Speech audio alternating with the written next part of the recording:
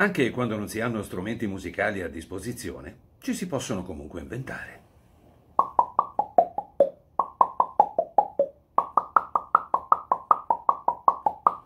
Vi ricordate? Erano gli anni 70.